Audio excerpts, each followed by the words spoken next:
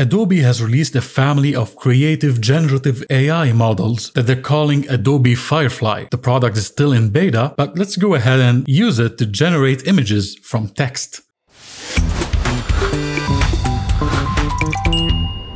I've opened the beta version of Firefly in a web browser by going to firefly.adobe.com, signing in and requesting access, and as you can see, I can use these two features here, text to image and text effects. There are more features coming soon, but for now, let's click on text to image. You'll see a bunch of AI generated art, and if you hover over these images, you will see the exact prompt, the text description that was used to generate it. You can click to try that exact same prompt, or you can create your own custom description, like a race car with paint splashes in the background. Click generate, wait for it to process, and here you go. I got four different images and on the right hand side I can change the aspect ratio. Let's set it to landscape.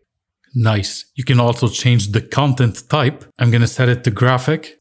And we can change the style as well. You can click all to reveal all options. But for now, I'm going to choose hyper-realistic under themes. Scroll down. I'll set the color and tone to vibrant color. The lighting to dramatic. And as you can see, all these settings will appear here under the description. Let's click generate. And there you go. Click on one of these images to enlarge it and click here to download it. You can also click on this icon to generate more images based on this one.